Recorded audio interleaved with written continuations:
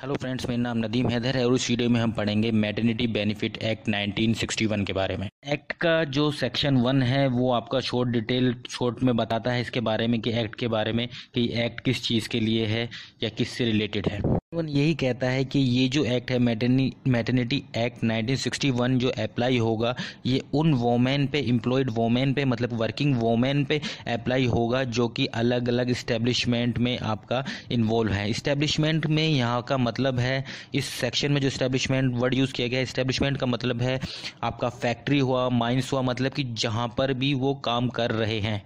Sector में जिस भी फ़ील्ड में वो काम कर रही हैं, उसको आपका इस्टेब्लिशमेंट कहा गया है। चाहे वो फैक्ट्री हो माइन हो प्लांटेशन हो, कोई इंडस्ट्री हो कॉमर्शियल हो एग्रीकल्चर हो मतलब जहाँ पर भी वो काम कर रही हैं, उसको इस्टेब्लिशमेंट बोला गया है इस सेक्शन के अंदर। इस सेक्शन में यही बताया गया है, ये वर्किंग वोमेन के लिए है कि जहाँ पर वो, जहाँ पर भी वो काम कर रही हैं तो वहाँ पर ये चीज़ अप्लाई होगी उस इंडस्ट्री के ऊपर, उस फैक्ट्री के ऊपर के उस वोमेन को। मतलब कि अगर कोई वोमेन जो है, वो प्रेगनेंट है तो प्रेगनेंसी उसकी डिलीवरी से पहले उसको क्या बेनिफिट मिलने चाहिए और डिलीवरी के बाद उसको क्या बेनिफिट मिलेंगे? तो ये एक्ट इसी से रिलेटेड जो है डील करता है। जो एक्ट है, ये सभी जितने भी हर इस्टेब्लिशमेंट पर इस्टेब्लिशमेंट ऑलरेडी मैं आपको बता चुका हूँ क्या चीज़ है। तो हर इस्टेब्लिशमेंट पे पर आपका फैक्ट्री हो माइन हो या प्लांटेशन सब पर ये आपका जो है अप्लाई होता है। किस इस्टेब्लिशमेंट पर अप्लाई होगा या नहीं होगा, ये किसके ऊपर डिपेंड करता है, ये डिपेंड करेगा आपका स्टेट गवर्नमेंट के ऊपर। अगर स्टेट गवर्नमेंट चाहे तो ये किसी भी इंडस्ट्री पर, किसी भी कॉमर्शियल उस पर, या फिर किसी एग्रीकल्चर उस पर तो मतलब किसी से भी रिलेटेड या किसी पर भी ये एक्ट अप्लाई कर सकती है तो ये स्टेट टू स्टेट वेरी करेगा। हर स्टेट का अलग अलग होगा। तो हर स्टेट जो स्टेट मतलब कि अगर चाहेगी कि ये इस इंडस्ट्री में या इस आपका एग्रीकल्चर उसमें ये चीज़ आपका अप्लाई होना चाहिए, ये वाला एक्ट तो उसको क्या करना पड़ेगा स्टेट गवर्नमेंट को? स्टेट गवर्नमेंट को सेंट्रल गवर्नमेंट से पहले अप्रूवल लेना पड़ेगा इसको अप्लाई करने के लिए, इस एक्ट को अप्लाई करने के लिए, उस इंडस्ट्री पर या उस टाइप की फैक्ट्री पर। उसके बाद स्टेट गवर्नमेंट क्या करेगी? उसके बाद स्टेट गवर्नमेंट इस एक्ट को अप्लाई करने से पहले इन्फोर्स करने से पहले, कम से एटलीस्ट कम से कम दो महीने पहले इसको ऑफिशियल गजट में इसका नोटिस देगी नोटिफिकेशन देगी। उसके बाद ये इन्फोर्स किया जाएगा। करते हैं कि ये एक्ट कहाँ पर अप्लाई होगा? तो ये मैटर्निटी बेनिफिट एक्ट 1961 आपका होल इंडिया पे, पूरी इंडिया में आपका एप्लीकेबल होगा। सिर्फ़ आपका छोड़कर किसको? स्टेट को, जम्मू एंड कश्मीर स्टेट को छोड़कर ये पूरी इंडिया में आपका अप्लाई होगा। साथ साथ मैंने आपको सेक्शन टू भी बताया है। सेक्शन टू में आपका एप्लीकेशन ऑफ़ एक्ट के बारे में बताते हैं कि ये एक्ट कहाँ कहाँ पर अप्लाई होता है। तो उसके लिए ऑलरेडी मैं आपको बता चुका हूँ पहले ही। तो साथ साथ इसमें ही सेक्शन टू में ही ये और बताता है कि मतलब ये तो मैंने बताया आपके इसके जो भी इस्टेब्लिशमेंट में फैक्ट्री में माइन में, जहाँ पर भी वोमेन वर्किंग है तो वहाँ पर ये अप्लाई होगा। साथ में मैंने आपका स्टेट गवर्नमेंट वाला वो बताया कि स्टेट गवर्नमेंट जहाँ पे भी जाएगी। ठीक है? उसके आगे चलते हैं तो ये आपका जो शॉप है, जो शॉप होती हैं, दुकानें होती हैं तो उन पर भी ये अप्लाई होगा। जैसे मैंने आपको ऑलरेडी बताया तो ये जो डिपेंड करेगा, पहले ही किसके ऊपर डिपेंड करेगा? ये डिपेंड करेगा स्टेट गवर्नमेंट के ऊपर के स्टेट गवर्नमेंट तो ये अलग अलग स्टेट में गवर्नमेंट के ऊपर होगा कि ये शॉप पर अप्लाई होगा या नहीं अप्लाई होगा। पर अगर ये शॉप पर अप्लाई होगा तो ये अप्लाई होता है। उसमें होगा कि जिस शॉप में दस या दस से ज़्यादा पर्सन अगर एम्प्लॉयड हैं कितने मतलब कि बारह महीने के अंदर जो प्रोसीडिंग ट्वेल्व मंथ है, उसमें अगर दस या दस से ज़्यादा पर्सन एम्प्लॉयड हैं तो उस शॉप में, उस दुकान पर भी ये एक्ट जो है अप्लाई होगा। और ये अप्लाई होना किसके ऊपर है, मैं पहले बता चुका हूँ आपको स्टेट गवर्नमेंट के ऊपर डिपेंड करता है कि स्टेट गवर्नमेंट चाहेगी तो शॉप पर होगा, अगर शॉप पर होगा तो ये कंडीशन है उसके लिए कि बारह महीने प्रोसीडिंग ट्वेल्व मंथ में जो है कम से कम एटलीस्ट दस या दस से ज़्यादा पर्सन उस शॉप में एम्प्लॉयड हो तो ये मैटर्निटी एक्ट जो है अप्लाई होगा। एक्ट के सेक्शन थ्री की बात करें तो सेक्शन थ्री में जो कुछ डेफिनेशन दी हैं, उनके बारे में बताया कि क्या क्या चीज़ होती है तो उसके बारे में कुछ डेफिनेशन के बारे में हम पढ़ लेते हैं। अप्रोप्रिएट गवर्नमेंट सबसे पहले डेफिनेशन इसमें दे रही है तो अप्रोप्रिएट गवर्नमेंट जो दिया गया है अप्रोप्रिएट गवर्नमेंट का मतलब है आपका सेंट्रल गवर्नमेंट और स्टेट गवर्नमेंट तो इनसे संबंधित है आपका। कोई भी स्टेब्लिशमेंट आपका फैक्ट्री माइन या इंडस्ट्री जो भी है तो ये या तो वो सेंट्रल गवर्नमेंट के अंदर आएगी या फिर आपका स्टेट गवर्नमेंट के अंदर आएगी। तो अप्रोप्रिएट गवर्नमेंट से सीधा मतलब है आपका सिंपल वर्ड में स्टेट गवर्नमेंट और सेंट्रल गवर्नमेंट से है। अब इसमें क्या गया है? चाइल्ड चाइल्ड क्या है? जो स्टिल बोर्न चाइल्ड मतलब ऑलरेडी मतलब कि पैदा हो चुका है तो वो जो है चाइल्ड आपका माना जाएगा और डिलीवरी इसमें डिलीवरी की डेफिनेशन दी है बर्थ ऑफ़ द चाइल्ड मतलब कि बच्चे का जन्म होना जो उसको डिलीवरी कहा गया हो। एम्प्लॉयर किसा गया गया है? एम्प्लॉयर का मतलब है आपका इस्टेब्लिशमेंट से रिलेटेड मतलब कोई भी इंडस्ट्री फैक्ट्री या माइन उससे रिलेटेड जहाँ पर मतलब कि जो वोमेन है या जो एम्प्लॉय है, जो काम कर रहे हैं तो इस्टेब्लिशमेंट से रिलेटेड है। अब वो अगर वो दो चीज़ हो सकती है। वो जो इस्टेब्लिशमेंट है, वो गवर्नमेंट के कंट्रोल में हो सकती है या फिर अलग से आपका जो है प्राइवेट कह सकते हो या फिर लोकल अथॉरिटी के कंट्रोल में हो सकती है।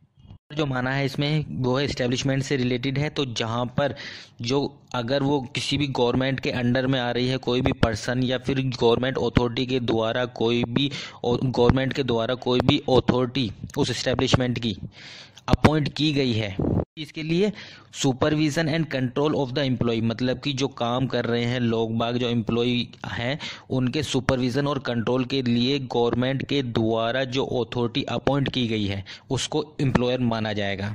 कोई अथॉरिटी अपॉइंट नहीं की गई है तो जो हेड ऑफ़ द डिपार्टमेंट है, वो आपका एम्प्लॉयर माना जाएगा। रफली छोटे से सिंपल से एग्ज़ाम्पल से आपको समझा देता हूँ, ये रफ फॉर्म में हम समझ लेते हैं। सपोज़ करिए कोई एक इंडस्ट्री है, कोई फैक्ट्री है या फिर कोई भी कंपनी है जो कि वो गवर्नमेंट कंपनी है।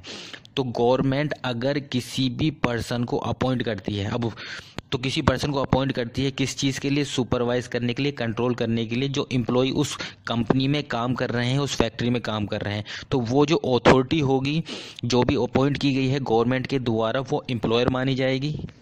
अगर कोई अथॉरिटी अपॉइंट नहीं की गई है तो जो हेड ऑफ़ डिपार्टमेंट होगा, वो आपका क्या माना जाएगा? एम्प्लॉयर माना जाएगा। चलते हैं दूसरे उसमें।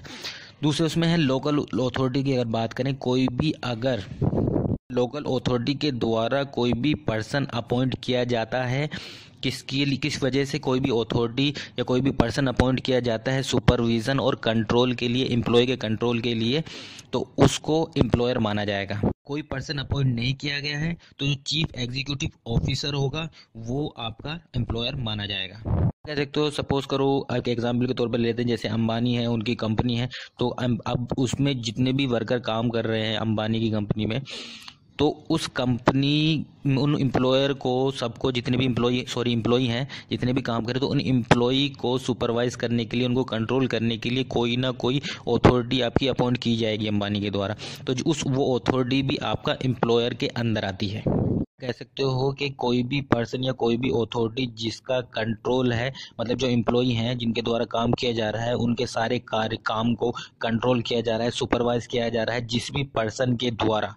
चाहे वो आपका मैनेजर हो, मैनेजिंग डायरेक्टर हो, या फिर कोई अपॉइंट किया पर्सन हो, कोई अलग से, ठीक है? तो वो सारे ये कोई मैनेजिंग एजेंट हो तो सारे ही आपका वो एम्प्लॉयर की श्रेणी में आएँगे, उनको एम्प्लॉयर ही माना जाएगा। इससे ये चीज़ आपकी क्लियर हो जाती है कि ये आपका गवर्नमेंट में है गवर्नमेंट फ़ील्ड में भी आपका और प्राइवेट फ़ील्ड में पब्लिक फ़ील्ड में, उसमें भी दोनों ही तरह से आपका दोनों ही चीज़ें इन्वॉल्व हैं, दोनों के लिए ही एप्लीकेबल होगा। स्टैब्लिशमेंट का मैं ऑलरेडी आपको पहले बता चुका हूँ। स्टैब्लिशमेंट का मतलब है कोई भी फैक्ट्री कोई भी माइन कोई भी प्लांटेशन या कोई भी ऐसी चीज़ जहाँ पर जो एम्प्लॉय हैं, वो आपका लगे हुए हैं, काम कर रहे हैं, जिस भी जिस भी उसके अंदर इंडस्ट्री के अंदर, उसको स्टैब्लिशमेंट कहा जाएगा। वेजेस को डिफाइन किया गया तो वेजेस में ये कह रहे हैं कि जो भी, जितना भी रियूमनरेशन है, जो पेड किया जाता है या फिर आपका कैश के फॉर्म में वोमेन को दिया जाता है तो वो आपका वेजेस कहा जाएगा, चाहे वो आपका कॉन्ट्रैक्ट ऑफ़ एम्प्लॉई एम्प्लॉयमेंट है, वो एक्सप्रेस हो या एम्प्लॉयड हो, दोनों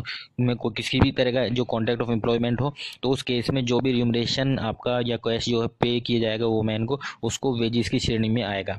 कैश अलाउंस इसमें क्या होगा? कैश अलाउंस होगा, जिसमें कि आपका डी डीए मतलब कि डियरनेस अलाउंस प्लस एंड आपका हाउस रेंट अलाउंस ये आपका इंक्लूड होगा, और या फिर कोई भी इंसेंटिव बोनस दिया जाता है, वो आपका आएगा। इसी तरह का कंसेशन दिया जा रहा है आपका फ़ूड जो फ़ूड ग्रेन की सप्लाई की जा रही है उसमें। तो ये सारा आपका वेजिस के तौर में आएगा। क्या चीज़ इंक्लूड नहीं की जाएगी वेजिस में? वेजिस में क्या इंक्लूड नहीं किया जाएगा? इंसेंटिव बोनस से अलावा अगर किसी तरह का बोनस दिया जा रहा है तो वो वेजिस के अंदर नहीं आएगा।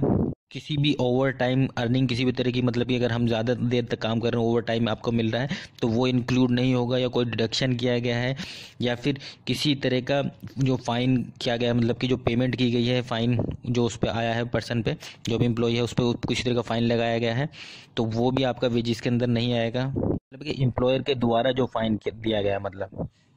तो वो फाइन भी आपका नहीं इंक्लूड किया जाएगा इसमें। और भी किसी भी तरह का आपका कंट्रीब्यूशन जो पेड किया गया है एम्प्लॉयर के द्वारा एम्प्लॉय को, चाहे वो आपका पेंशन फंड के तौर में हो प्रोविडेंट फंड के तौर में हो तो वो सारी चीज़ें भी आपका इसमें वेजेस में नहीं इंक्लूड की जाएँगी। ग्रेचुएटी पेमेंट है, वो भी आपका इसके अंदर इंक्लूड नहीं होंगी। वोमेन को डिफाइन किया है कि वोमेन क्या है? वोमेन में आपका जो डिफाइन किया है, वोमेन, वो औरत इसमें वोमेन कही गई है, जो कि एम्प्लॉयड है। अब चाहे वो डायरेक्टली हो या किसी एजेंसी के थ्रू आपका एम्प्लॉयड हुई हो, काम कर रही है तो वो वोमेन जो है आपका इस सेक्शन में, इस एक्ट में इंक्लूड की गई है उसे। अब बात करते हैं provision against employment of pregnant women ये आपका सेक्शन फोर में दिया गया है मेटर्निटी बेनिफिट एक्ट 1961 में। तो इसमें ये चीज़ किया गया, कहा गया है कि जो प्रेग्नेंट वोमेन है, उसको कब काम नहीं करने दिया जाएगा। तो इसमें ये कहा गया है सबसे पहले बात कर लेते हैं कि कंडीशन जो है दो तरह की हो सकती है। एक तो जो एम्प्लॉयर है, वो प्रेग्नेंट वोमेन से ज़बरदस्ती फोर्सफुली काम करा सकता है। दूसरा, आपका जो वोमेन है, जो प्रेग्नेंट वोमेन है, वो खुद काम करना चाहती है। तो दोनों ही कंडीशन में आपका प्रोहिबिट किया गया है, दोनों ही कंडीशन को कि दोनों ही कंडीशन में अगर जो एम्प्लॉयर वो भी, वो चाहे, या फिर आपका वोमेन जो प्रेग्नेंट वोमेन वो खुद काम करना चाहे तो दोनों ही कंडीशन में उसको काम नहीं करने दिया जाएगा। उसके बारे में बात करता है। इसमें कहा गया है कि जो एक्सपेक्टेड डेट होती है, जो एक्सपेक्टेड डिलीवरी डेट है मतलब कि ये एक्सपेक्ट किया जाता है कि बेबी बॉर्न जो होगा, उस डेट को होगा तो वो एक्सपेक्टेड डेट से छः महीने पहले छः सॉरी छः हफ़्ते पहले छः वीक पहले तो उस एक्सपेक्टेड डेट से छः हफ़्ते पहले ना ही वोमेन को कोई इजाज़त दी जाएगी काम करने की, और डिलीवरी डेट के जो एक्चुअल डिलीवरी डेट है, उससे छः हफ़्ते बाद कोई भी वोमेन को, जो प्रेग्नेंट वोमेन थी, उसको काम करने की इजाज़त नहीं दी जाएगी। एक तरह से जो टोटल बेनिफिट जो मिलेगा मेटर्निटी बेनिफिट वो उसको ट्वेल्व वीक का मिलेगा। छः हफ़्ते जो एक्सपेक्टेड डेट है, उससे पहले और डिलीवरी के बाद एक्चुअल डिलीवरी के छः हफ़्ते बाद तक। इस एक्ट में साथ साथ ये भी कहा गया है कि जब जो एक्सपेक्टेड डेट है, उससे छः हफ़्ते पहले उसे कार्य नहीं करने दिया जाएगा और उन छः हफ्तों से एक महीने पहले उसको कोई भी ऐसा कार्य नहीं दिया जाएगा, कोई भी ऐसा कठिन काम नहीं दिया जाएगा जिससे कि उसकी प्रेगनेंसी पे किसी तरह का इफ़ेक्ट पड़े, उसे मिसकैरेज होने का खतरा हो या फिर उसकी हेल्थ पर किसी तरह का इफ़ेक्ट पड़े। मतलब इसमें कहने का मतलब यही है कि जो एक्सपेक्टेड डेट है, उससे छः हफ़्ते पहले उसे काम नहीं करने दिया जाएगा और ना ही एक्चुअल डिलीवरी के छः हफ़्ते बाद तक उसे काम करने दिया जाएगा। तो यहाँ पर तो मना कर रहे हैं कि काम ही नहीं करने दिया जाएगा। पर जो एक्सपेक्टेड डेट है, उससे छः हफ़्ते से एक महीने पहले उसको काम करने की इजाज़त तो मिलेगी, पर जो काम जो मिलेगा, उसको वो बहुत लाइट मतलब नॉर्मल काम कर सकती है वो। किसी ऐसा कोई कठिन काम नहीं कर सकती जिससे कि उसकी हेल्थ पे या प्रेगनेंसी पे या फिर मिसकैरेज होने का खतरा हो, इस तरह से कोई इफ़ेक्ट पड़े तो इस तरह का काम नहीं मिलेगा उसको। हेलो फ्रेंड्स मेरा नाम नदीम हैदर है और उस वीडियो में हम पढ़ेंगे मैटर्निटी